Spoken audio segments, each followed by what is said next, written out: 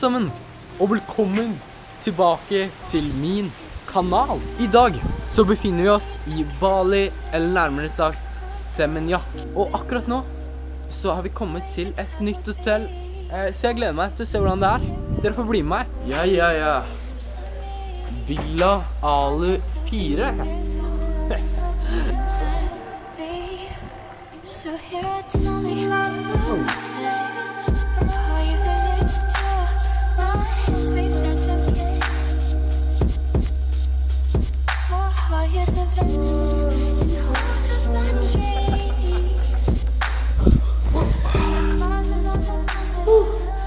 Fy søren, det er fint her. Og det morsomme er jo at badebassenget er jo bare noen få meter unna. Ja, det frister meg å bade nå.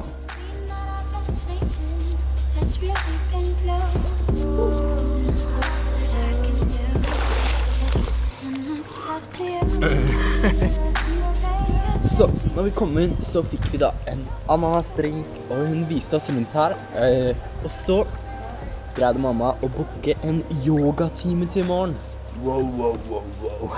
Ok, men uansett, så nå skal vi bare kose oss her i bassenget, og så skal vi snart ut for å spise litt før vi legger oss. Bli med meg videre i min reise.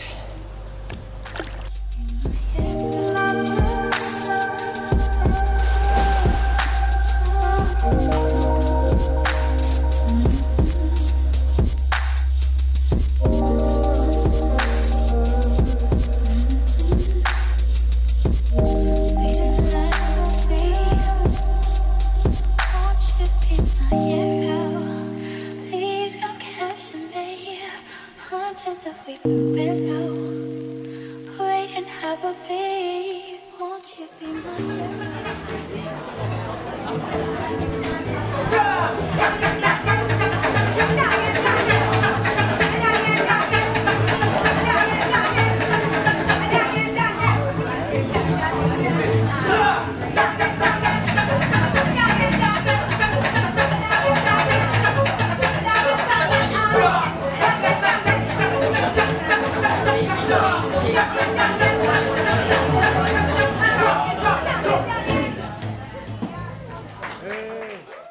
Alt sammen. Så da var det en ny dag. Uh, og nå skal vi spise frokost. Uh, men greia her er at nå er vi i en villa, og det er jo bare det her som er hotellet. Så akkurat nå så har vi hatt en som står, har stått bak her og lagd frokosten vår. Uh, så da Det betyr jo at vi har jo da egen kokk. Så jeg og Julius fikk da pannekaker. Så det blir godt. Vi skal nyte frokosten. Og så blir det yoga etterpå. I can't wait no more.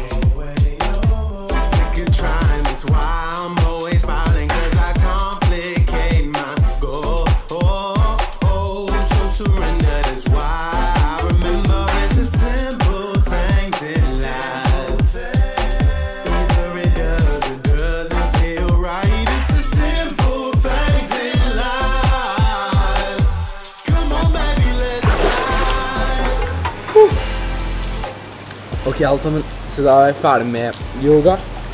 Eh, jeg må si at de beste delene med det var når du tok medisjon, eller meditasjon, tror jeg du kaller det. Så nå pissregner det, ehm, og jeg tenkte å bade. Uansett, regn ødelegger ikke ferien vår, så vi skal kose oss masse.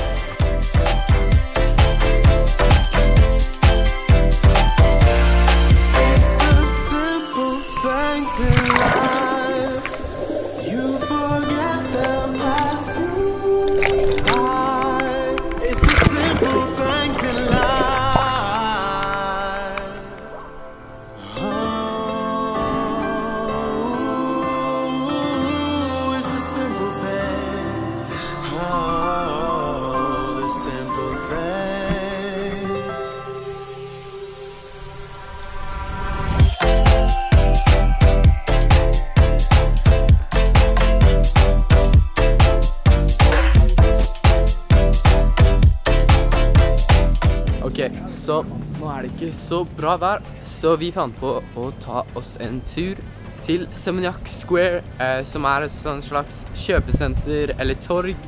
Eh, der hvor det er masse butikker, og du kan spise. Så da tar vi lunsj der.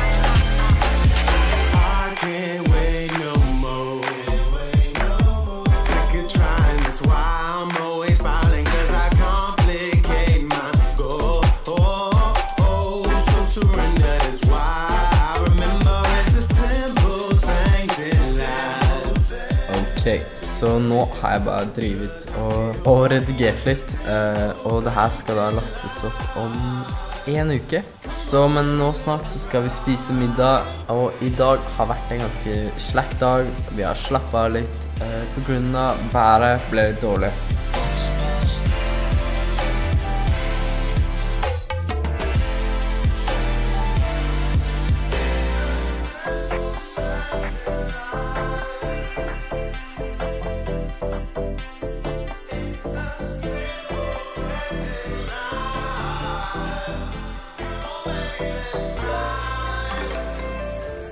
Ok, alle sammen. Nå er det natta.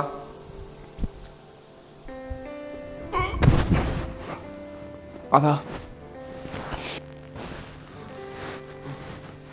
Jeg er trøtt. Klokka er åtte, og vi har akkurat gjort noe helt utrolig. Vi har nemlig fått Du ser Fjortis, musikkvideoen min, 103 000 ganger. What? What? Damn. Det er helt faen.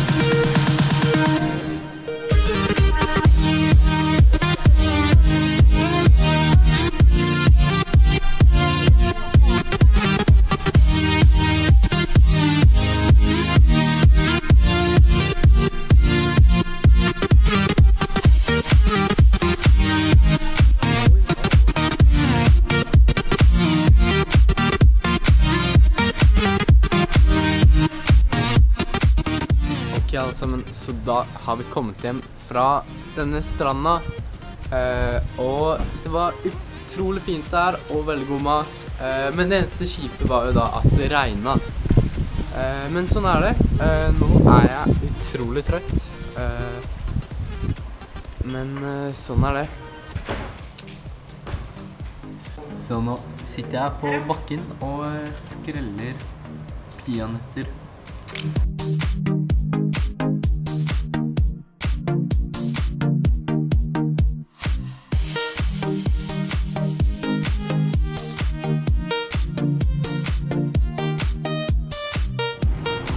Gå rundt i mørke Bali. Fordi her er klokka bare Au, faen, jeg mistet Nei, den ble ikke knust. Jeg mista telefonen akkurat live på et kamera. Her er klokka syv. Eh, og i Norge så blir det jo ikke mørkt før sånn Ja, i hvert fall sånn når jeg er hjemme klokka tolv. OK, da var jeg redd for å knuse den telefonen.